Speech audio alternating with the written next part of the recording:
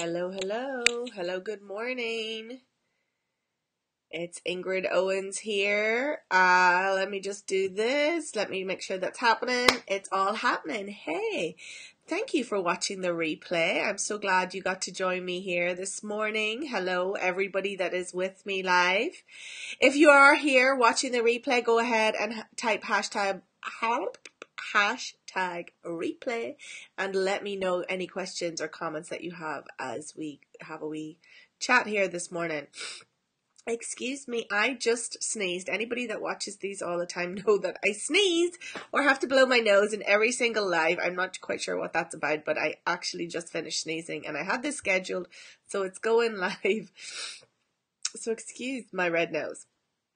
So good morning, wherever you are. Welcome to Biz Talk Tuesday.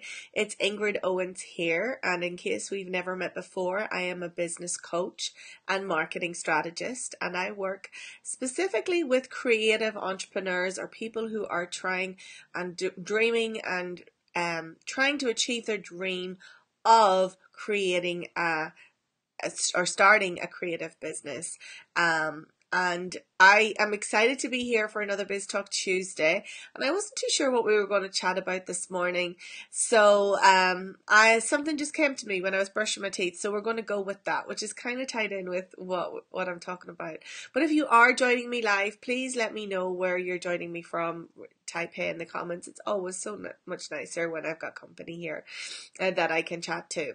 Um, I do go live here every Tuesday morning for Biz Talk Tuesday. Sometimes it's at 10 a.m. Sometimes it's a little later, but I um always endeavor to be here, and we're settling, I think, at around that 10 o'clock time. So today what I wanted to talk about is something that affects all entrepreneurs and at every level in their business and it also affects regular people too but I think in being an entrepreneur, we have to be even more um, attuned to this thing. And uh, there's a lot of talk about it right now. If you um, are online in any capacity, um, talking about starting a business, kind of doing some research around that, this word comes up a lot. And um, the last couple of weeks you've heard me talk about fear and that's one of the things that stops a lot of people uh, from starting their business. But one of the big things that is connected to that is this whole concept of mindset. Now mindset is something that it's to me in the coaching world it, you know that it, it's become like another just a regular word. But I do remember the first time I heard this concept of mindset, um, and it's not always clear what is meant by mindset. And especially as um, you know, an, an, entrepreneur, you have to be very, very particular about your mindset and having the right mindset. And it's like, okay, well, does that just mean positive thinking?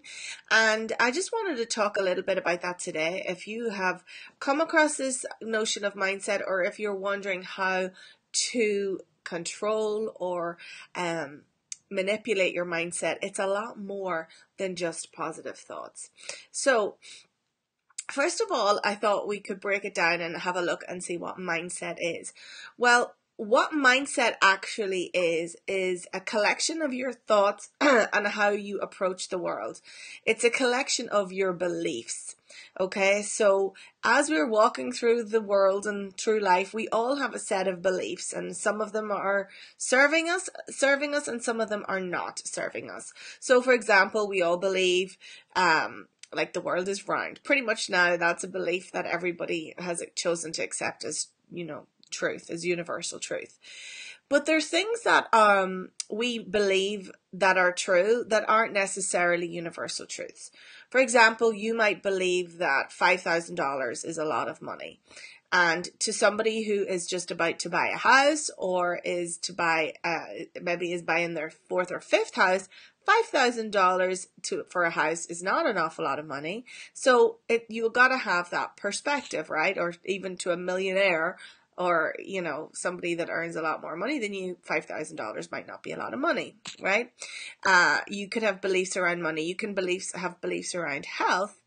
You can have beliefs around family, of, of around all sorts of things that may or may not be serving you.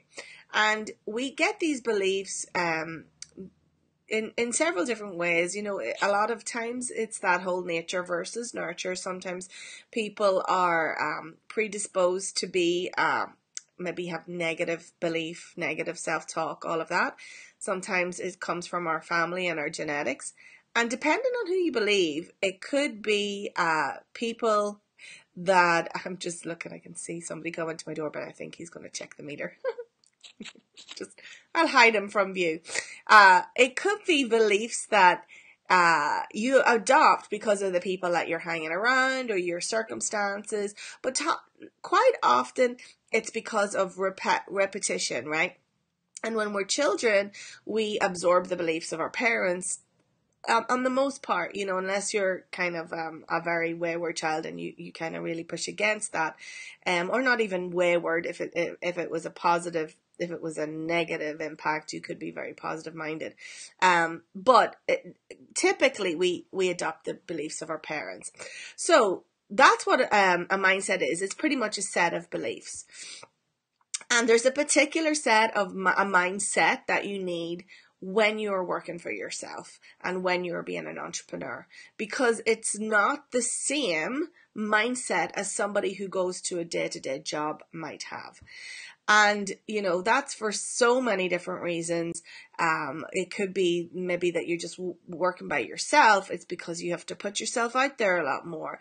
It's because you're being vulnerable in, in ways because you're sharing your work or your skills that you might not necessarily have to do if you're working in a jobby job, right? So there's a whole set of my, a mindset that, um, you have to have as an entrepreneur that doesn't necessarily fit as the mindset for a, a, regular working person. So what we're talking about today is this entrepreneurial mindset. And so you really want to cultivate this entrepreneurial mindset. And the way that we do that, um, I've outlined some, some three different ways, right? So the first thing is that you want to become aware of what your mindset currently is. You want to become aware of what your current set of beliefs are. Okay. And so we can become aware in several different ways. It helps if you uh, can get some quiet time, if you can meditate. I like to meditate. I use a great app on my phone called Insight Timer. If you've never used it before, it really helps you to get still. Some of those are guided meditations. Some of them are just like bells and intervals, excuse me, letting you talk and be still. Some people like to pray, people like to go, you know, to their quiet space just for contemplation. But when you become still, you can become aware of your thoughts in a much, much greater detail than if you are, you know, just lost in that everyday chatter. So the first thing is awareness. Like every issue or in any situation, you want to first become aware. And becoming aware of your mindset will allow you to see where beliefs are sneaking in and maybe they're not serving you the way that you think you sh- they, they could be, right? Because of what it might take to be an entrepreneur. So the first thing, like I said, become aware. The second thing then is to really challenge and to question those beliefs. Now, by nature, I'm a challenging, questioning person. Not everybody necessarily is. I do think that a lot of times, if you have a drive to become a, an, an entrepreneur, you do have that questioning and you like to challenge the the status quo. That's how innovation uh, comes about and all of that, right? You know, because we don't just accept things as they are. But sometimes we forget about things like within, and it can be very um, enlightening to question beliefs and if they're serving you. Now, if you can do it through your own contemplation, that's great. Um, like with meditation and all of that. Sometimes it takes somebody else to call us out on our own BS. And that's where working with a coach can really help any coach that's worth their salt is not just going to provide accountability and guidance. They're going to really hold you accountable to that thoughts those thoughts that you're um that you're uh, thinking and they're going to be intuitively aligned to that and, and understand and hear and recognize those patterns and call you out on it.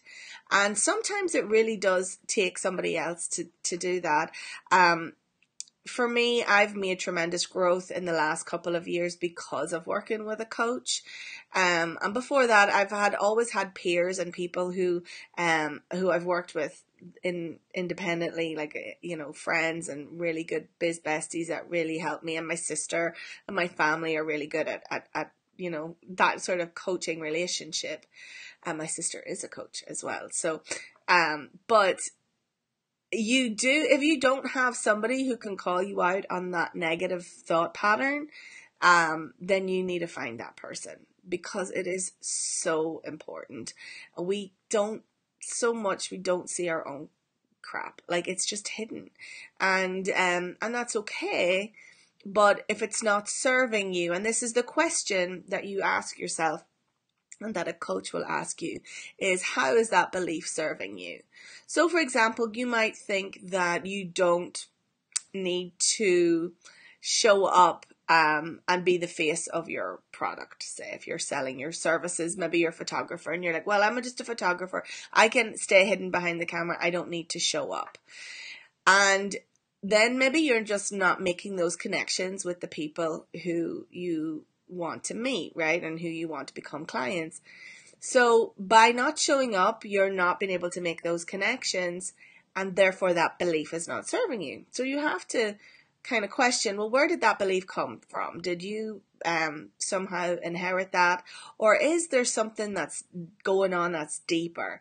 And most of the times that's the case. And that requires, involves a lot of, um, or a little or a lot of, of self discoverment, uh, a little digging around, and just trying to figure out what exactly is going on.